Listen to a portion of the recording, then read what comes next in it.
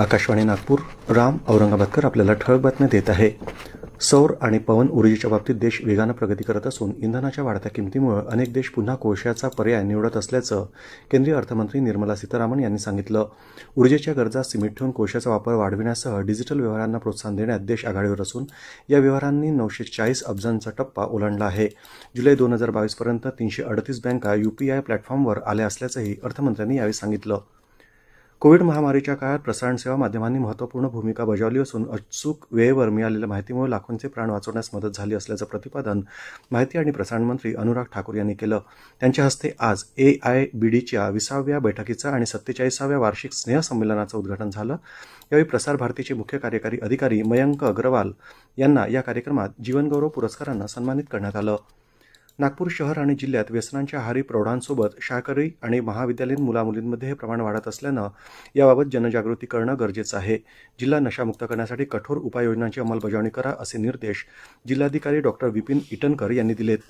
नशामुक्त भारत अभियानाच्या अंमलबजावणी संदर्भात जिल्हाधिकारी कार्यालयाच्या छत्रपती सभागृहात आयोजित बैठकीत ते बोलत होते राजपुत्र सिद्धार्थ तथागत बुद्ध या जीवनप्रवासाचा मागोवा घेणारे साहित्यिक नरेंद्र शेलार यांच्या महाकारुणिक या कादंबरीचा प्रकाशन समारंभ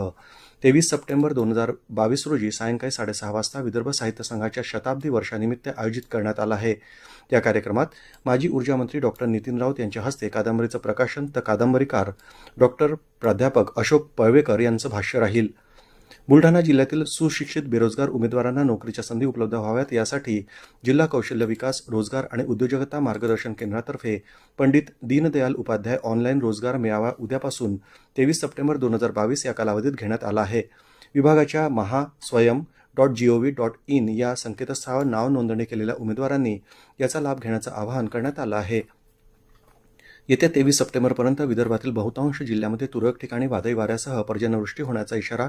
हवामान खात्यानं दिला असून गडचिरोली शहरासह जिल्ह्याच्या बहुतांश भागात आज सायंकाळी पावसानं हजेरी लावली यामुळे जनजीवन विस्कळीत झालं असून पुन्हा जोरदार पर्जन्यवृष्टीचा अंदाज हवामान विभागानं वर्तवला आहे याबरोबरच हे ठळक बातमीपत्र संपलं नमस्कार